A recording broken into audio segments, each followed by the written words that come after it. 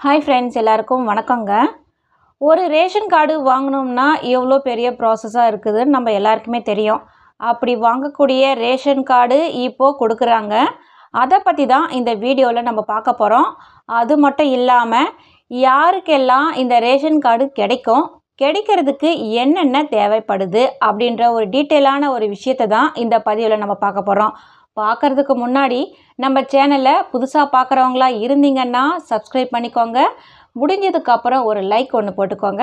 வாங்க வீடியோக்குள்ளே போகலாம். ரேஷன் கார்டுனா என்ன? அது எந்த அளவுக்கு பயன்படுது? அப்படின்றது நம்ம எல்லாருக்குமே தெரிஞ்ச ஒரு விஷயந்தான் இருந்தாலும் ஒரு தடவை நான் சொல்கிறேன் ஏழை எளிய மக்களுக்காக அரசு தரப்பிலிருந்து வழங்கப்படும் ஒரு அட்டை தாங்க இந்த அட்டையை வச்சு ரேஷன் கடைகளில் இலவசமாகவும் மலிவு விலையிலையும் உணவுப் பொருட்களை வாங்கிக்கலாம். அது ஒரு பக்கம் இருக்க மகளிர் உரிமை தொகை பொங்கல் பரிசு தொகுப்பு போன்ற நிதி உதவிகளுமே பார்த்திங்கன்னா ரேஷன் கார்டு மூலயமாக தான் வழங்கப்படுது.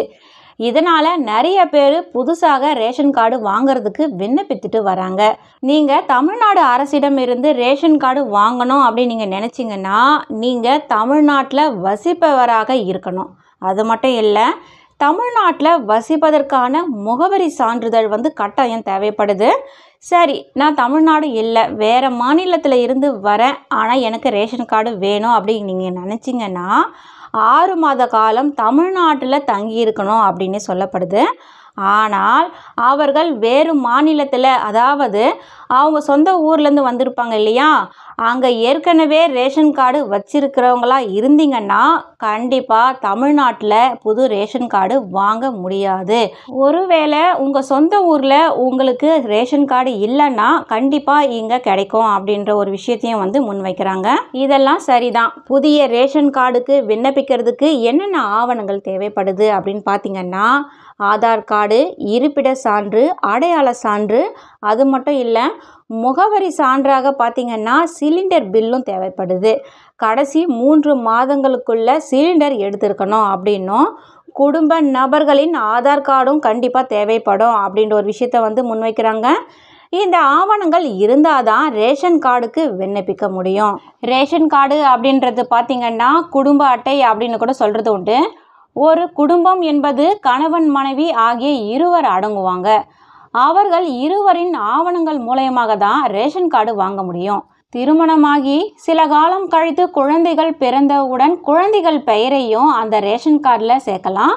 பெற்றோர் மனைவியின் பெற்றோர் மற்றும் இதர குடும்ப சொந்தங்களையும் சில நிபந்தனைகளின் பெயரில் ரேஷன் கார்டில் நீங்கள் இணைக்க முடியும். நீங்கள் தனியாக இருக்கிறவங்களா இருந்தீங்கன்னா உங்களுக்கு ரேஷன் கார்டு கிடையாது அப்படின்னு சொல்கிறாங்க ஆனால் ஐம்பத்தி ஐந்து வயதுக்கு மேற்பட்ட தனி நபர்கள் ரேஷன் கார்டு வாங்கலாம் அப்படின்னு சொல்லப்பட்டிருக்கு. இன்னொரு விஷயம் என்னென்னா வேறொரு ரேஷன் கார்டில் பெயர் இருந்துச்சுன்னா இன்னொரு ரேஷன் கார்டு வாங்க முடியாது. எதனால் அப்படின்னு பார்த்தீங்கன்னா ஆதாருடன் இணைக்கப்பட்டிருக்கிறதுனால ரேஷன் கார்டில் பெயர் இருக்குதா இல்லையான்றத நம்மளுடைய அதிகாரிகள் ஈஸியாக கண்டுபிடிச்சிருவாங்க. உதாரணமாக பார்த்தீங்கன்னா புதிதாக திருமணம் ஆனவங்க தங்களுடைய பெற்றோரின் ரேஷன் கார்டில் இருந்து பெயரை நீக்கியதுக்கு அப்புறம்தான் புதிய ரேஷன் கார்டுக்கு விண்ணப்பிக்க முடியுன்றது குறிப்பிடத்தக்கது. புதிதாக திருமணம் ஆகும் ஆண் பெண் இருவருமே பார்த்திங்கன்னா தங்களுடைய பெற்றோரின் ரேஷன் கார்டில் பெயரை நீக்கணும். அதுக்கு திருமண சான்றிதழ் அவசியம் தேவைப்படுது. திருமண சான்றிதழும் கொடுக்கலாம். அப்போதான் பெயரை நீக்க முடியும். இருவரின் பெயரையும் நீக்கப்பட்ட பிறகுதான் புதிய ரேஷன் கார்டுக்கு விண்ணப்பிக்க முடியும். புதிய ரேஷன் கார்டுக்கு விண்ணப்பிப்பதற்கு முன்னாடி நீங்கள் சிலிண்டர் இணைப்பு வாங்கியிருக்கணும். தனியாக சிலிண்டர் இணைப்பு இல்லைன்னாக்க கார்டு கிடைக்காது.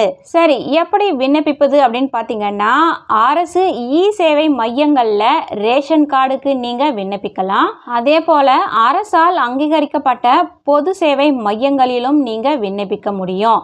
நீங்களே ஆன்லைனில் விண்ணப்பிக்கும் வசதியும் இருக்குது. ரேஷன் கார்டுக்கு விண்ணப்பித்த இருபது நாட்களில் உங்களுக்கு ஒப்புதல் கிடைச்சிடும். அதே போல் விண்ணப்பித்த இரண்டு மாதங்களில் ரேஷன் கார்டுமே கிடைச்சிடும். அப்படி கிடைச்ச நம்ம ரேஷன் கார்டு வீட்டு அட்ரஸுக்கு அனுப்புவாங்களா அப்படின்னு கேட்டிங்கன்னா கிடையாது. வீட்டுக்கு அனுப்ப மாட்டாங்க. தாலுகா ஆஃபீஸுக்கு முதல்ல அனுப்பப்படும். சம்மந்தப்பட்ட நபர் அங்கே போய் கார்டை வாங்கிக்கலாம். அப்படி இல்லைன்னா நீங்கள் வசிக்கும் ஏரியாவில் உங்களுக்காக ஒதுக்கப்பட்டிருக்கிற ரேஷன் கடைக்கு கார்டு அனுப்பி வைக்கப்படும்.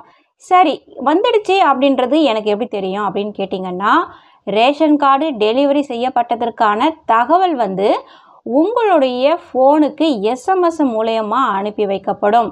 அதாவது நீங்கள் வந்து கொடுத்துருக்கிற ஃபோன் நம்பருக்கு எஸ்எம்எஸ் மூலயமா அனுப்புவாங்க. இதே போல் ரேஷன் கார்டு சம்மந்தப்பட்ட தகவல்கள் நம்ம சேனலில் நிறைய வீடியோவாக நான் போட்டிருக்கேன். தேவைப்படுறவங்க போய் கிளிக் பண்ணி பார்த்துக்கோங்க. இந்த தகவல் உங்களுக்கு பிடிச்சிருந்துச்சுன்னா மற்றவங்க கூட ஷேர் பண்ணுங்கள் லைக் பண்ணுங்கள் கமெண்ட்ஸ் இருந்தால் பண்ணுங்கள் அடுத்த ஒரு நல்ல வீடியோவோட நான் உங்களை சந்திக்கிறேன். நன்றி வணக்கம்.